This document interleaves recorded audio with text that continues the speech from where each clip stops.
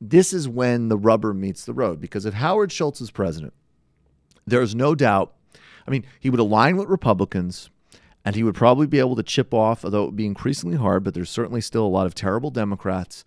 And he would make a play to destroy Medicare and Social Security, and that may or may not work.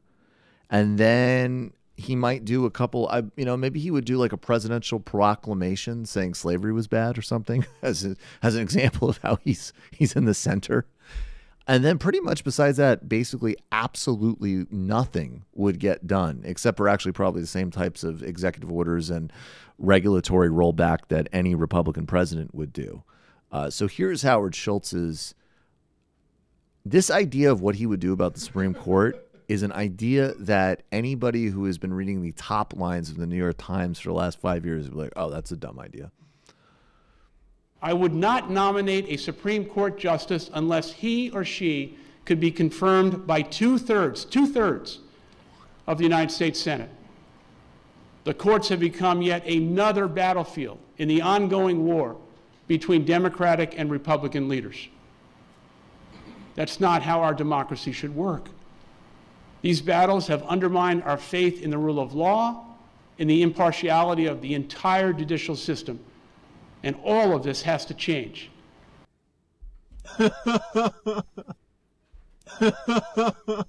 you are a douchebag.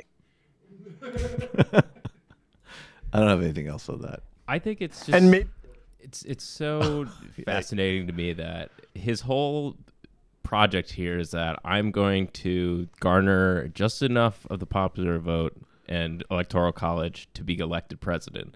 Then when I appoint someone to the Supreme Court, I'm going to get two thirds of the elected officials in the Senate to support him. The math is just insane. And it's so weird. Like, the further this goes on, the more apparent it's going to be that this is like a make a wish thing for a billionaire. That we can just, like, oh, yeah, he can go be president, run for president, Howard. You, you got it, buddy. That's an, it. That's an interesting idea, and like have these people just pat him on the back the whole time. because they want his money. Yeah, right. And then and then and it's also like I'm the one I've said, look, I think in general the left needs to be in a better relationship to the needs that are served by things like self-help thinking. And I do think generically like you know what? Actually positive psychology, yes, there's a huge downside to it. I know. Don't please don't get pedantic with me, but the truth of the matter is like in people's lives having things like goals and and meditating and exercising and you know mapping your life like these things can be super valuable and what's but what's so interesting is like as you scale it like magical thinking might be helpful when you're trying to sell people overly sugary coffee drinks uh and certainly in politics you need to set vision but like this is just pure magical thinking applied to a realm where it's like I mean, you had a president like Obama in a deep in a in a different historical moment who's just better than Howard Schultz in every conceivable metric. He's infinitely more intelligent. He, you know, was ready to be president. He has a keen understanding of law and history and policy. Uh, You know, every way Barack Obama is better. And even he one of his fatal flaws was the delusion that he could that the Congress and American politics was like a Harvard Law Review debate and not a brutal material conflict mostly populated by profoundly racist people or just unlimitedly cynical people on the other side who even though he was pursuing a centrist to center right agenda would do everything they could to destroy him. Favor's gonna break. Right. So the brilliant Barack Obama. I mean, th- this is the thing that's amazing about this. What we have right now, we have Beto O'Rourke. I'm going to copy Barack Obama completely, except I'm actually just like a rich white kid who has no, there's nothing unique or interesting or overcoming about my story.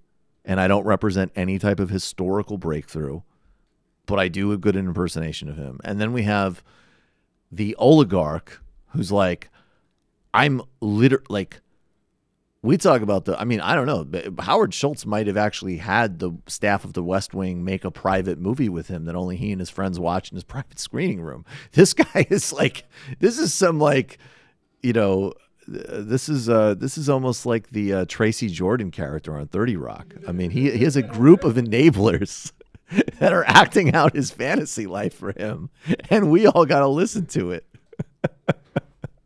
Man, I that's almost reason enough for me to actually watch Thirty Rock to try That's to the- piece together Tracy Morgan, Howard Schultz. I mean, Tracy Morgan's way cooler than Howard Schultz. but Tracy they're- Jordan, that's Tracy the character, Jordan, right? or the Tracy Jordan character. But it reminds me, there's one where like he wants to go to space.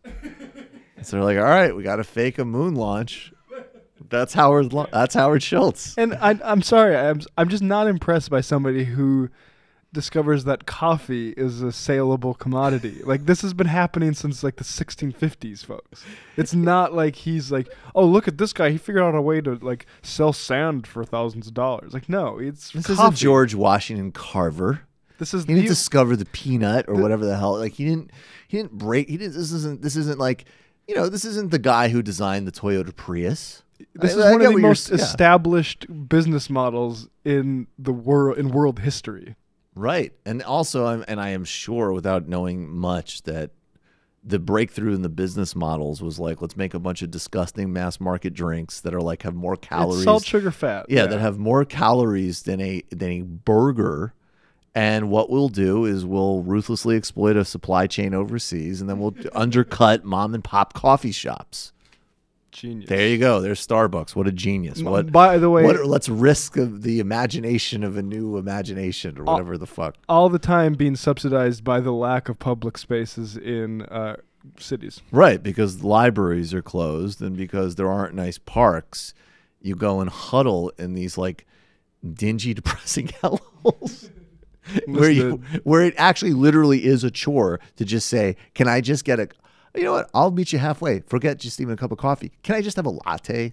And can I call it a latte? And can it be small instead of a tall? Whatever the fuck. All right, other now we're kind of- getting into you know. Denis Leary territory here. I know. I know. I'm sorry. I'm becoming character myself, but still, like Jesus Christ, get the fuck out of here. But keep running, keep doing what you're doing. Keep You're speaking.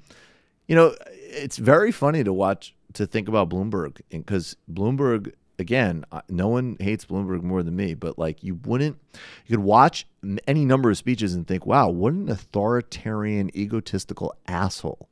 But you never would watch and and of course delusional just because of his money and disconnect from reality, but you would never watch a Bloomberg speech and just go, "Wow, what a moron." like you watch Howard Schultz, you're like, "Dude, you're an idiot." You're an idiot.